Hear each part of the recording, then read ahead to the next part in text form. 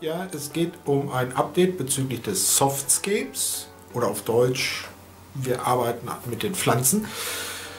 Ich und mein Wir-Gefühl, wahrscheinlich werde ich das dann doch hinterher alleine machen. Ja, in der Vergangenheit sind auch schon mal Pflanzen rausgeflogen, weil ja, sie nichts geworden sind oder äh, nicht gefallen haben oder beides, wie auch immer. Diesmal geht es um die Red Ruby. Äh, ich kriege die einfach nicht im Griff. Ich habe die befallenen, von allen befallenen Blätter entfernt äh, und so weiter, habe die ins Licht gesetzt und getan und gemacht.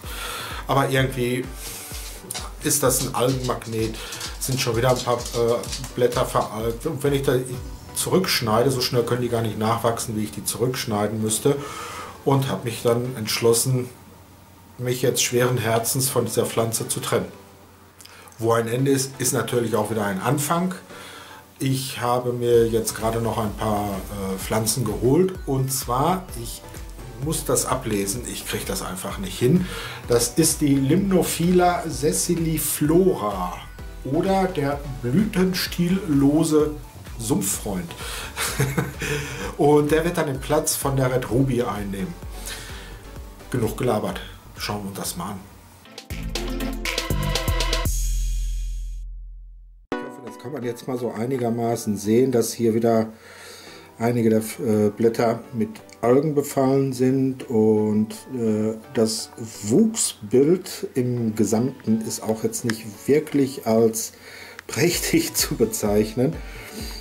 Äh, hier müsste ich wieder zurückschneiden und bei der Wachstumsgeschwindigkeit der Red Ruby, da bin ich ewig dran, bis ich die so hinkriege, dass ich das schaffe.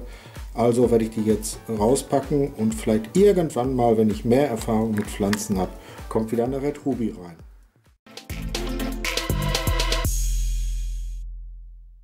Der Sumpffreund ist jetzt nicht wirklich die äh, anspruchsvollste Pflanze und äh, ist auch sehr günstig im Handel zu bekommen. Ich habe mir drei Bund geholt und noch nicht einmal 4 Euro bezahlt. Insgesamt waren das jetzt also 20 Stängel, die da waren und davon waren drei, äh, die ich etwas stärker einkürzen musste, weil die nicht mehr wirklich so wahnsinnig toll aussahen. Aber naja, ne?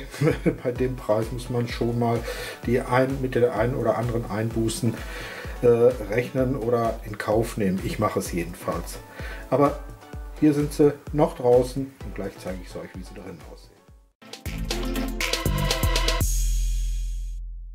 Ja, es war keine leichte Entscheidung. Mir hat die Pflanze eigentlich gefallen, aber nicht so, wie sie bei mir wächst. Und ähm, spontan war es es auch nicht. Äh, ich habe es mir lange überlegt und den Sumpffreund habe ich jetzt deswegen genommen, weil es auch eine feinfiedrige Pflanze ist und ich hoffe, dass das meinen Garnelen dann auch sehr gut gefällt.